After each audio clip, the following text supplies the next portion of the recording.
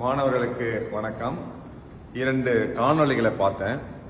அரசு பள்ளி மாணவர்கள் ஒரு ஆசிரியரை ஒரு குறிப்பிட்ட மாணவர் தாக்குறதுக்கு முற்படுகிறாரு. இன்னொரு இடத்துல மாணவர்கள் அரசு பள்ளி மாணவர்கள் அந்த வகுப்பறையில் இருக்கக்கூடிய டேபிள் சேர் அந்த ஃபர்னிச்சர் இரும்பு ஃபர்னிச்சர் அதை வந்து ரொம்ப சிரமப்பட்டு அதை உடைக்கிறாங்க. பாரதியார் சொன்ன மாதிரி நெஞ்சு பொறுக்குதில்லையே அப்படிங்கிற அந்த சூழ்நிலையில இந்த பதிவு நான் இடுகிறேன் அரசு பள்ளி மாணவர்களே நானும் அரசு பள்ளியில் தான் படித்தேன் நமது பெற்றோர்கள் நம்மளை ஏன் அரசு பள்ளிக்கு அனுப்பிச்சிருக்கிறாங்கன்னு யோசிச்சு பார்த்தீங்களா அவங்கள்ட்ட பெரிய வருமானம் கிடையாது. அதாவது அவங்கள்ட்ட அதிகமான சொத்துக்கள் கிடையாது. வருமானம் இல்லை.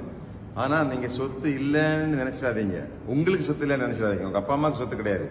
உங்களுக்கு நிறைய சொத்து இருக்கு.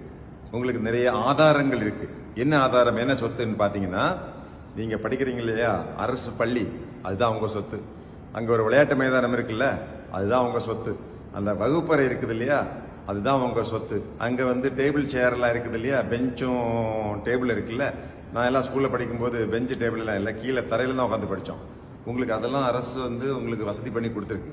அந்த பெஞ்சை நீங்க வந்து உடைக்கிறீங்க. உங்க திறமையை அதில் காட்டுறீங்க. அப்படிங்கிற அதுதான் உங்க சொத்து. அங்க உட்காந்துருக்காரு பாத்தீங்களா? ஆசிரியர். அவர் தான் உங்க சொத்து. இந்த ஆசிரியர் பெருமக்களால் தான் நான் இந்த நிலைமைக்கு வந்திருக்கிறேன்.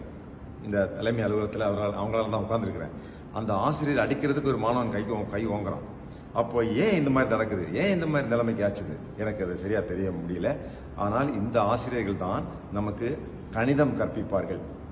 இந்த ஆசிரியர்கள் தான் நமக்கு அறிவியல் கற்பிப்பார்கள். இந்த ஆசிரியர்கள் தான் நமக்கு பூமி எப்படி இருக்கும் என்று சொல்லிக் கொடுப்பாங்க. புவியியல் சொல்லிக் கொடுப்பாங்க. இந்த ஆசிரியர்கள் தான் நமக்கு கடந்த மூவாயிரம் ஆண்டு மனித சரித்திரம் மனித வரலாறை பற்றி சொல்லிக் கொடுப்பாங்க. இவர்கள் தான் கம்ப்யூட்டர் சொல்லிக் கொடுப்பாங்க. இவங்க தான் விளையாட்டு சொல்லிக் கொடுப்பாங்க. அப்போ இவர்கள் தான் நமக்கு ஆதாரம். இவர்கள் தான் நமக்கு மிகப்பெரிய சொத்து.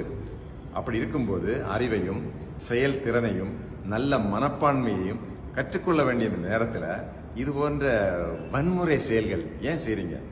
இது கிட்டத்தட்ட எப்படி இருக்குதுன்னா நமது வீடே நம்ம தீ வச்சு கொளுத்துற மாதிரி.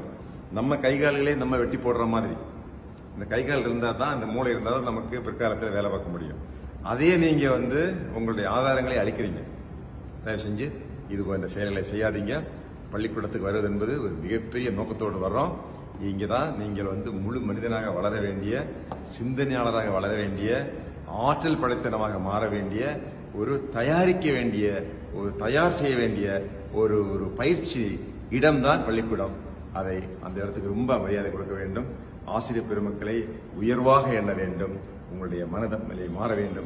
இப்படி பள்ளிக்கூடத்தில் ஒரு மிகப்பெரிய வயலன்ஸ் வன்முறை செய்வது என்பது சட்டப்படி ஜேஜே ஆக்ட் படி கூட இது ஒரு குற்றம்.